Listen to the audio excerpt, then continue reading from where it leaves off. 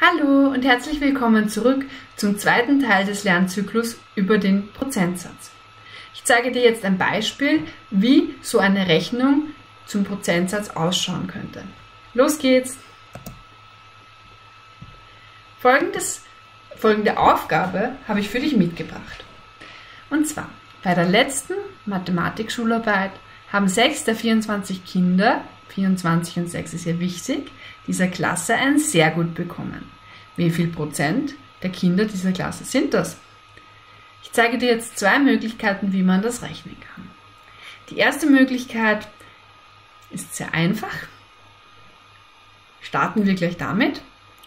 Man muss sich hier eigentlich zuerst nur mal überlegen, was ist ein Grundwert, was ist Prozentwert, Prozentsatz, was suche ich überhaupt und dann die richtige Formel wählen. Also schreibe ich das hier jetzt gleich mal auf.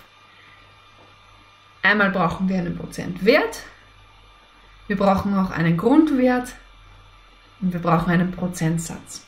Hast du schon eine Vermutung, was hier was ist? Also 6 der 24 Kinder. Das heißt, die ganze Klasse, alle sind 24. Das muss somit der Grundwert sein. 6 hier ist ein gewisser Prozentwert. Und die Prozente, also P, den Prozentsatz, den suchen wir. Jetzt brauchen wir eine Formel für P. Wenn du die auswendig weißt, kannst du sie ganz einfach ausschreiben. Ich mache das hier jetzt auch gleich mal. Und zwar geht die genau so. P ist W durch G mal 100. Super. Jetzt brauchen wir nur noch einzusetzen. W ist 6. G ist 24 und mal 100 hinten dran. Gut, dann können wir gleich weiterrechnen. 6 durch 24 ist dasselbe wie ein Viertel, also 0,25. Du kannst es natürlich auch als Nebenrechnung ausrechnen, wenn du dir da noch unsicher bist. Und 0,25 mal 100 mit Kommaverschiebung, das sind 25 Prozent. Super. Und wir haben unsere Lösung schon gefunden. 25 Prozent der Kinder dieser Klasse haben also ein sehr gut auf die Schularbeit. Falls du dir diese Formel nicht so gut merkst, was ich verstehen kann, machen wir jetzt die zweite Möglichkeit, wo du sie dir nicht auswendig merken brauchst. Versuchen wir, die Aufgabe wieder in einen Satz zu fassen. Die Prozente kenne ich ja leider noch nicht, also schreibe ich mal P her. P Prozent. Dann muss ich mir wieder überlegen, wovon. Naja, von der ganzen Klasse, also von 24 Kindern. Ich markiere das Ganze hier wieder farbig.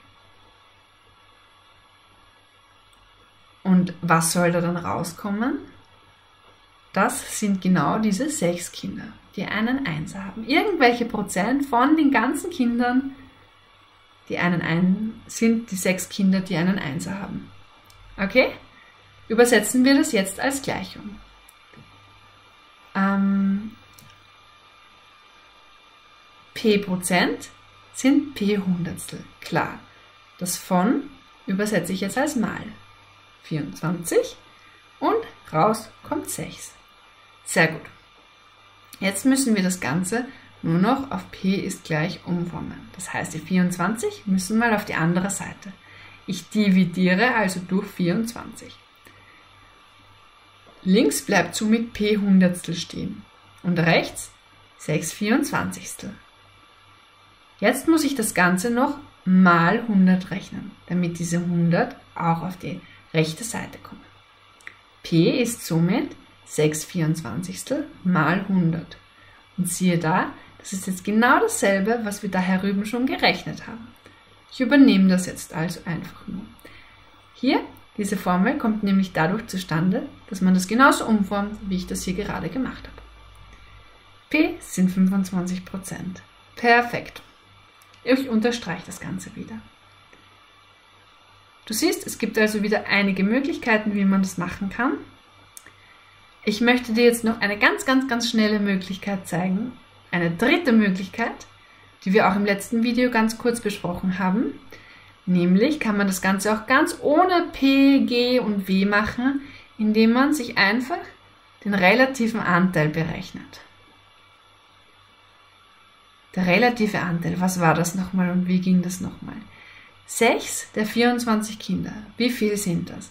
Wenn du weißt beim relativen Anteil, dass man diese 6 von 24 berechnen kann, indem man das von als Bruch übersetzt, bist du eigentlich schon fertig.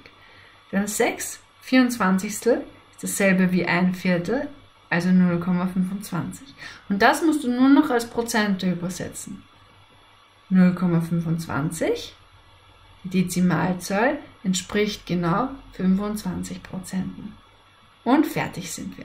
Das heißt, du siehst, auch ohne Prozentsatz, Grundwert, Prozentwert kann man das ganz, ganz leicht berechnen.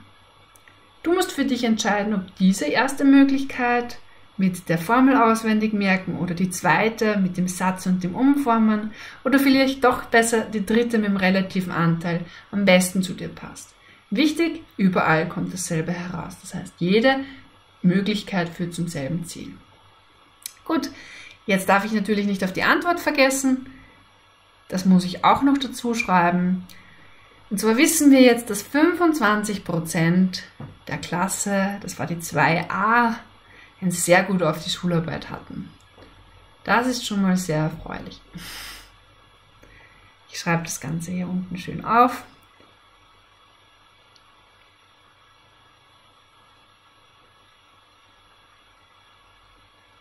Super.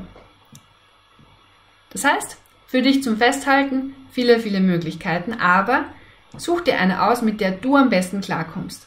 Üb sie vielleicht noch in dem nächsten Video, da bist dann schon du an der Reihe und du darfst selbst einen Prozentsatz berechnen. Tschüss und bis dann!